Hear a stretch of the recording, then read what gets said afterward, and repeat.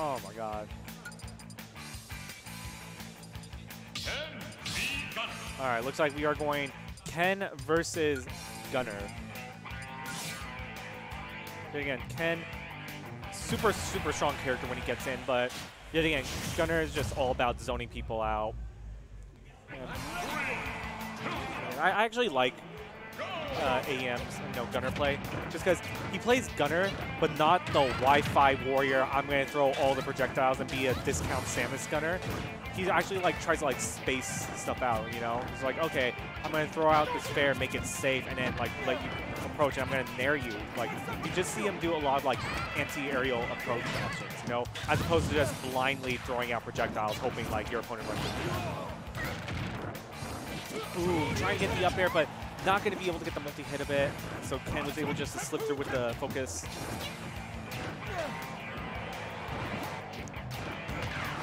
Yet again, you know, all these projectiles, you know, it's going to be so hard for Ken to get in just because Ken is so slow, relatively speaking.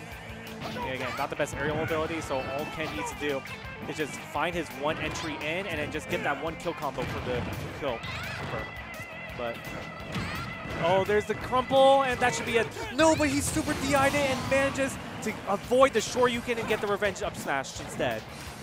Yet again, that takes some uh, amazing DI on Aimer's part to just avoid that combo. Why you'll see a lot of Kens, like, at higher percents, they'll go for Crescent Kick instead of Shoryuken. But yet again, Shoryuken will take it there. And Ooh, try going super hard for that forward smash tree, but unfortunately not going to be able to space it properly. Ken manages to sneak in an aerial. But, ooh, I like that, using the down B to kind of, you know, break up Ken's combo right there.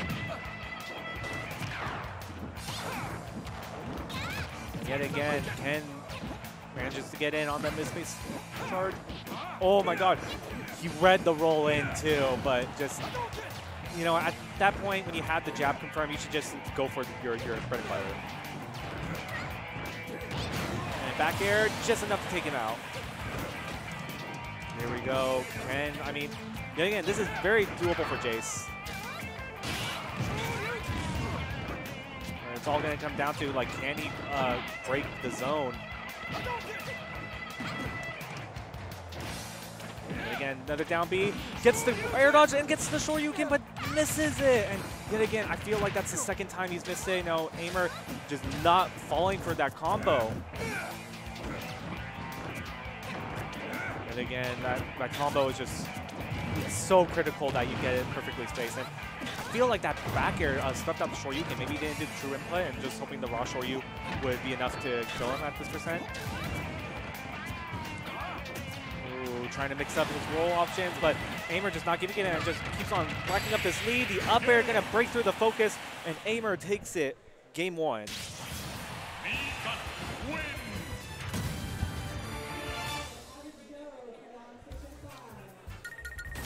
All right, here we go. Yeah, again, I, I like what Jace was trying to do because he was getting his combos, he was getting in on him, I feel like just the execution of the last like kill confirm needs a little bit more polishing up.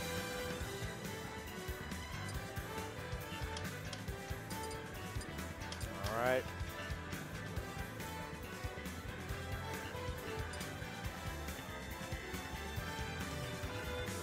And yet again, certain stages are banned for Battlefield or FD variants just because of the Z axis, you know? It's the reason why there's a two. Despite what this game may tell you, this is a a 3D game in the sense that like some moves access the Z axis. So certain moves will whiff or hit depending on whether or not they hit that Z axis or not. So I believe the, the most famous example of this case in recent time was a Game & Watch trying to down tilt Lucina after she countered, and the manhole went in between her feet. So yet again, just deciding on which stage to go, and getting again, going to the King of Fighters stage. King of Fighter, I feel like it's a really cool stage, and it has a lot of cool music in it, but it's kind of hard to see, like, I feel like for as cool as the music is, it's not like, oh, I know the exact name of the song. You just sound like, yeah, that sounds cool. Go! here we go. And again, I I feel like the pick to Battlefield, you know, just to kind of like shorten up the, the distance, you know, make it a, a more close-knit stage, will make it harder for AEM to like zone out. But at the same time, AEM does have the platforms to retreat to, like there. Sure, you can not gonna be able to do it, but it's nice damage. And a raw Shoryu right there. Surprised he didn't get punished, but up smash will punish that landing. And yet again, I feel like he's just got to learn that you can't focus on landing because you'll just up air him through it.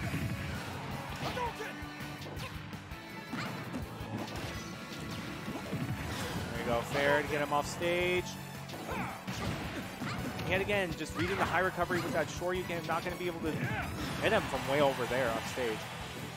It looks like the counter pick does seem to be working out for Jace. There's the forward tilt. Grab. No kill throw, so yet again, all you can do is hope for stage positioning. But the up tilt will crank with the up smash, and so he's able to combo into it. Now, for the first time, Jace has the lead in the set.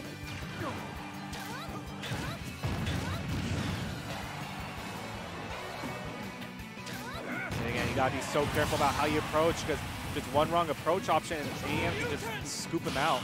But gets the parry, but not gonna be able to confirm anything off of it. And again, those focus, I feel like focus is just not the move in this matchup, you know? If Gunner is underneath you, like they can just space out aerials so well that like you're not going to be able to get a punish off the focus. But jab jab Shoryu, not going to be enough to really do a whole lot of damage. But you know what? He's off stage, and yet again, the forward smash will cover normal get up.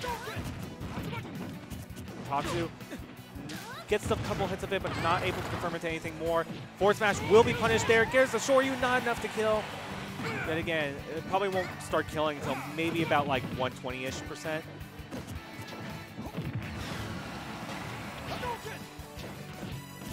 Yet again, here's the grab, down tilt. You know what? I, I can respect that. Not, not going for the Shoryu at that point.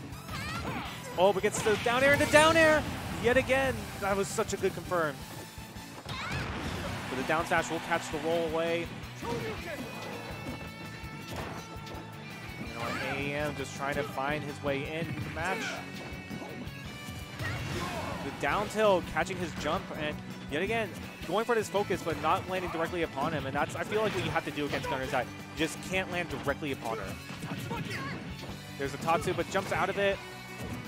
And yet again, Jace can he keep this lead in order to do it? But no, he just throws out these Shoryu. Unfortunately, does not get all the hits of the up smash, so will not kill. But yet again, he can't throw out all these wild moves like that. Barely manages to spot dodge the, the focus, and I'm pretty sure at that percent, but no, it took his, he didn't have a jump. Oh my god, that's unfortunate. And, you know, that's the kind of SD that like really gets on your mind. AM having a, a sigh of relief that he finally took out that stock, and now just has to worry about finishing this off. But you know what? Another kill confirm off the up tilt, the down tilt, might be able to do it. And yet again, just random focus is just not the right move for Jace. And yet again, Tatsu going to be punished. Gets the regrab to up air and up air. Is that going to be it? That's going to be it. And AEM takes it. He stole that last stock from Jace. And Jace was just like, that combos? That's a thing? And oh my god, yet again, that's it's one of those setups that